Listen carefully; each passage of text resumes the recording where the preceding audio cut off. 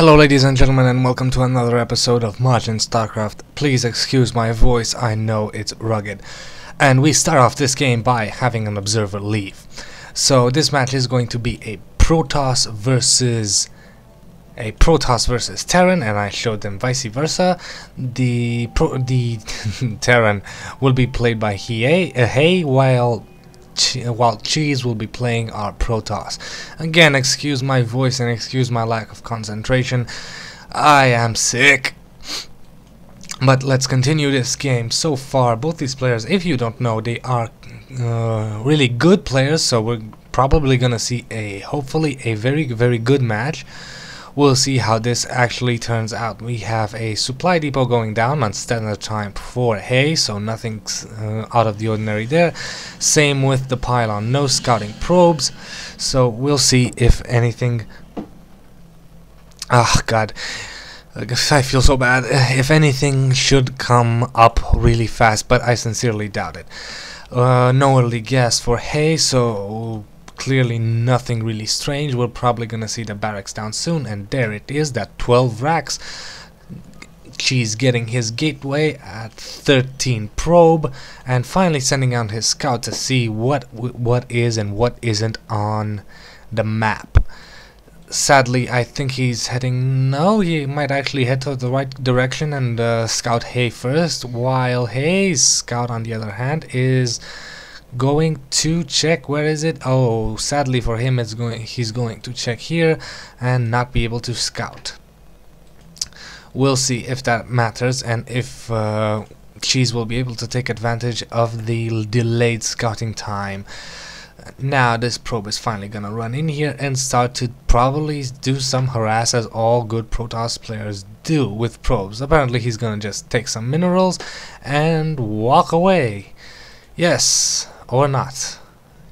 The Marine will soon be out to take care of this probe and we have a second supply depot and the probe is just idling around with a face full of minerals. The Marine is out, the probe goes back, nothing out of the ordinary there and apparently the SCV will even bigger delay because he's going to check out down here instead of going up here sad sadly Let's see what else is this barracks producing. Nothing much. We have a marine on the way and there's a zealot and a cybernetics core and a tech lab. So maybe we'll have a few marauders on defense. The mule is already here from this orbital command. And cheese is getting warp gate technology. I gotta say, speaking of cheese, I've discovered, at my own expense sadly, that low-level players do nothing but cheese. They have no idea how to play macro, they just do cheese over cheese over cheese over cheese. A high a macro game to them is probably like kryptonite. And I understand why, because they can't handle the multitasking. This includes me. I can't handle multitasking, but hell, I try. I try to play a macro game. The stalker is out and is going to destroy the scouting SCV, so this is in a little advantage for Cheese as his scouting probe is just going to stay here and watch out for any early push. We'll see if these two marines and this marauder will be will be able to do some damage, but I doubt it unless the stalker will run into them. The Xel'Naga tower will spot these things, but and it finally this probe will go down once these marines head into the bush. That sounded bad.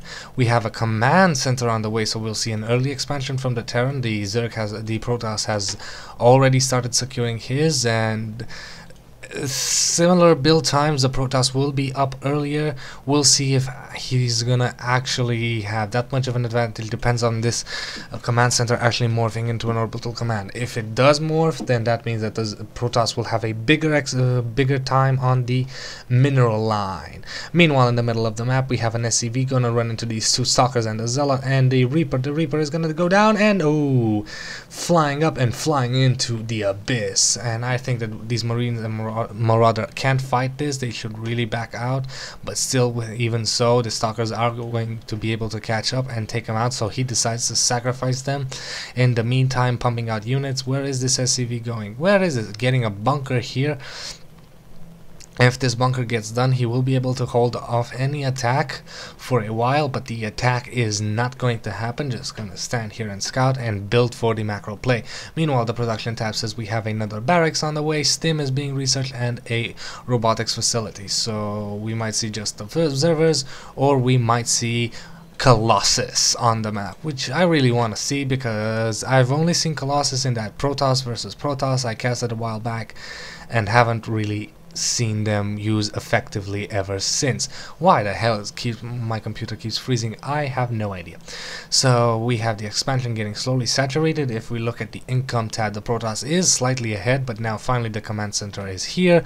Will be, let's see, will he upgrade it? I think so, because he's not producing anything, and yes, orbital command on the way, so transferring SCVs, a few of them, so we'll see the income even out pretty pretty soon or even to get an advantage for the Terran because of those mules.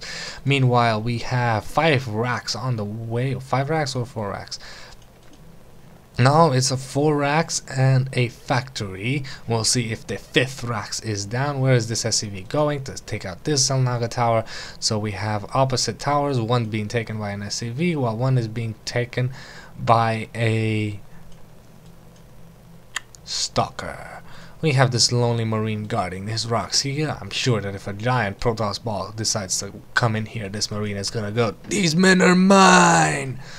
But that's not gonna work for him. We have a Twilight Council, so sadly the robotics facility only warped in probably a few observers, I somewhere.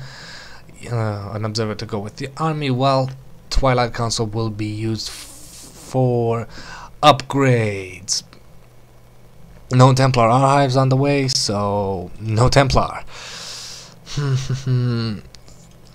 but now that Twilight Council is here, we'll see what upgrades he decides to go. Will it be Legs or Blink?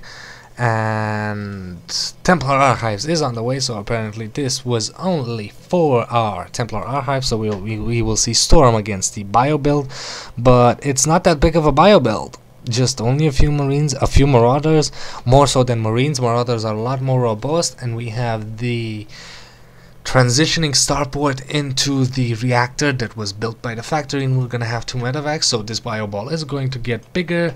So apparently poor poor uh, Hei is in a bad position right now because he is about to get storm in his face Meanwhile, the observer is scouting and seeing that this is a big ball of meat ready to take the electrical storm in its face.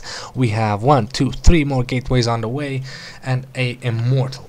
Back on the production tab, we have Storm on the way and Zealot legs, so Zealots will be able to charge up and deal with any kind of problems. Chrono Boost not being used, I suppose it, he could probably use it. Oh no, he actually is using it on these upgrades, which is good one expansion is full on the chrono boost and the Terran is deciding to move out. Will we have enough uh, Templars by the time this army gets here? We have one Templar, sadly. Let's check out the units. We have uh, one Templar, one High Templar, and we'll see if that High Templar will be, will be able to hold it. We have a probe here, probably soon gonna lay down an expansion, a pylon, and a pylon for scouting purposes, and here is the Terran ball, while the observer just idling above it and the Terran ball decides to move back. I don't think that that's a good idea because if he would have moved in, I don't know if he would have won, but at least he would have prevented the High Templars from having Psionic Storm and that would have been to his advantage. Meanwhile, the unit lost is favoring Cheese because of those Marines and Marauders that he lost on the way and pretty much we have Khaydarin amulets, so making sure that new and improved Templars will have enough for more storms. This observer just walking around, keeping an eye on this army, and this army is going to take on a pylon, not really a big of a deal.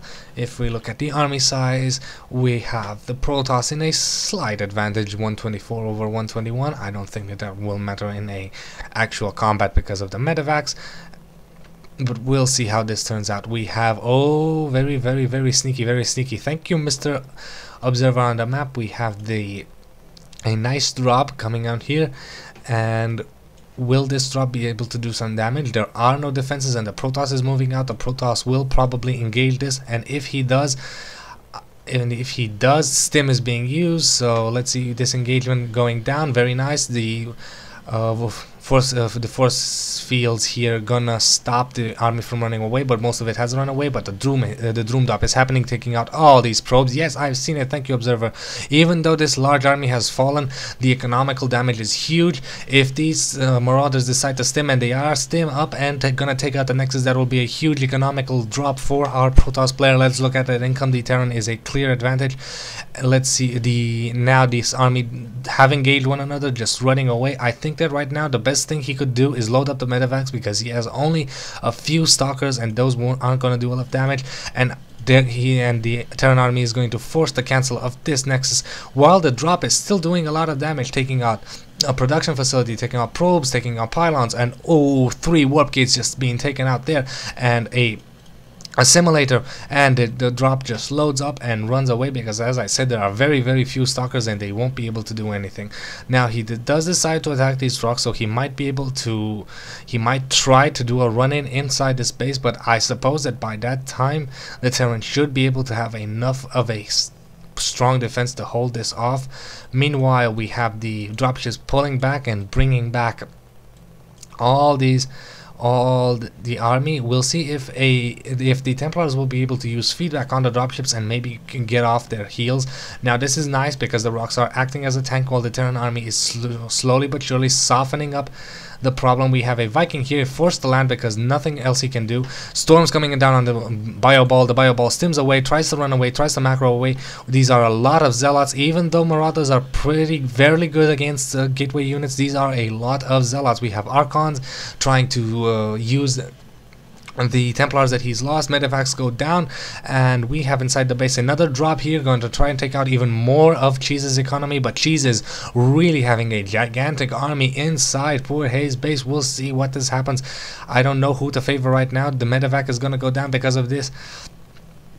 Archon and all the Marauders are dead. All the army is dead. I think he only has 8 Marauders somewhere on the map. I suppose these are the ones. And a few Marines, 3 medevacs, and his entire main base is pretty much sacrificed. He's not doing anything. I suppose he should be. Uh, and he just GG's out. And that's it. Strangely enough, he GG's out. I don't think that he would have probably won at this point because we have a void prism here so these gateways will would have been used to warp in a lot of units a lot of stalkers so poor he wouldn't have had, wouldn't have had a place to hide. But it was a very nice game. We've seen effective use of drops but sadly it just wasn't enough. So congratulations to cheese and i will see you guys next episode. Hopefully that by that time my voice would have cleared up. Thank you and goodbye